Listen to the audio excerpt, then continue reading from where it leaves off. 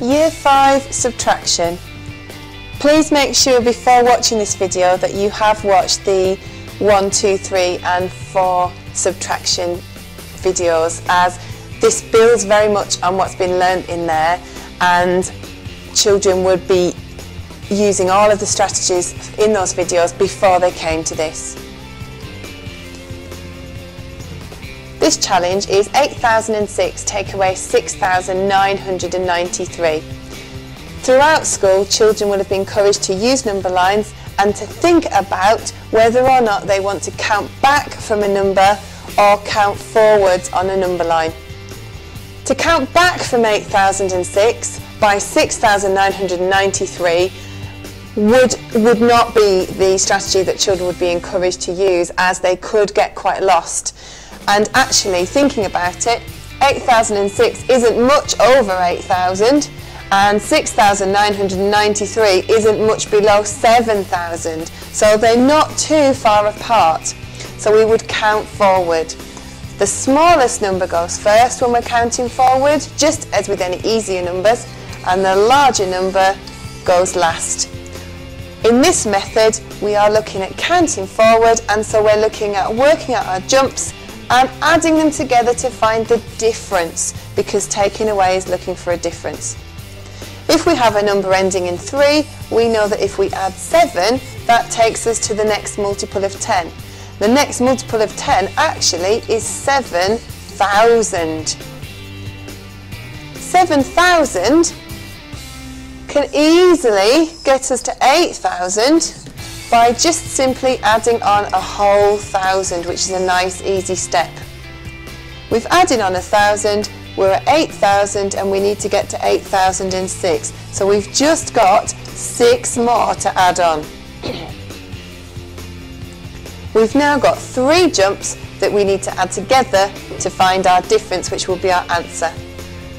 1,000, we start with the big one, 1,007 1007 add 6 is 1013. This example is very similar, but with, with what looks like easier numbers, but actually perhaps a little bit more fiddly. We've got 816 take away 743. Again, the children wouldn't be encouraged to count back with this as the numbers are quite close together. So 743, our smaller number goes first. 816, our larger number goes last. And we're counting up. We're counting up to find the difference, which will be our answer. 743, a number that ends in 3, we know that if we add 7, it will take us to our next multiple of 10, our next number that ends in a 0, which is 750. I'm at 750, and I want to get to 816. Some children straight away would be able to see that if they add on 66, that will get them to 816. Other children will need to take smaller jumps and add on 50 to get them to 800. Once they're at 800, hopefully they can see, well, they just need to add on 16 to get to 816. We've now got three jumps that we need to add together to find our answer. So we have 50 add 16 is 66, 66 add 7 is 73. So our answer is 73 and we've done that using the counting forward method.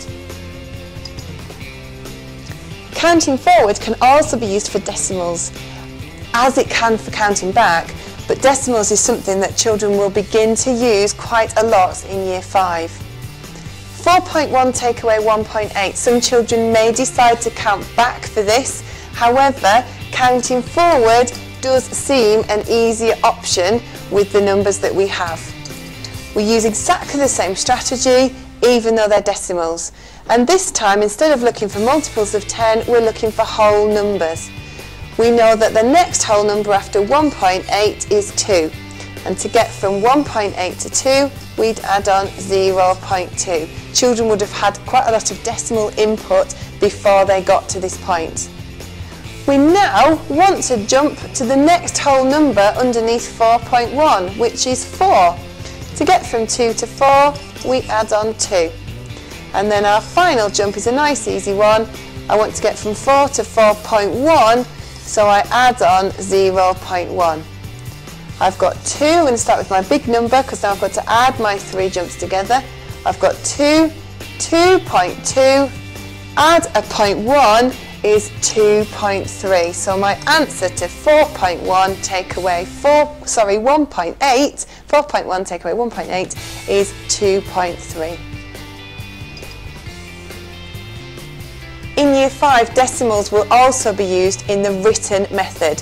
Children will have used the written method in previous year groups and should be becoming confident with the compacts method as they come into Year 5. We use exactly the same strategy, 5,764, take away 821.6. Very careful here, the children need to be encouraged to line up their numbers carefully. And they might, as I need to, move their subtraction sign. We have got some thousands only in this number, hundreds in both, tens in both, units in both. Then we've got some tenths in one of the numbers, but not in the top number. So the best thing would be to add in a holding zero after my decimal point to make sure that children are clear and don't get confused. Because it's after the zero, it actually does not affect the number at all. 5,764 is the same as 5,764.0, but that zero does help the children in their lining up. Just as before, they start with the least significant digit first. In this case, it's tenths. Before they do that, they'd be encouraged to put in their decimal place because now they treat it as they would any other subtraction. I've got no tenths and I want to take away 6 tenths. The children would have used the longer method in previous year groups or perhaps in year 5 if they're finding it tricky and they would need to take away one from the units and push it into the tenths to help them because they can't do 0 take away 6. I'm going to take 1 away from my units and I'm going to push it into my tenths. So it becomes 10 tenths. 10 tenths is the same as a whole one and that is the whole one that I've taken away from the 4. My units becomes 3 because I've taken 1 away. Can I do it now? Yes I can. 10 take away 6 is 4. 10 tenths take away 6 tenths is 4 tenths. I'm going across to my units. I can ignore my decimal point. 3 take away 1 is 2. 6 take away 2 is 4. 7 take away 8. I've got the same problem here that I had over here. 7 is smaller than 8 so I can't do it. I've got 7 hundredths, hundreds and I need to pinch one from the thousands to help me. So I'm going to pinch one and instead of it being 700 it's going to be 17 hundredths and I'm going to take one off my thousands which makes 4,000. So my hundreds becomes a 7, sorry it becomes from a 7 to a 17, 17 take away 8 is 9. I've now got my thousands column, 4,000 take away no thousands is 4,000. So my final answer is 4,942.4. Much trickier example and the children would only come to this when they are confident.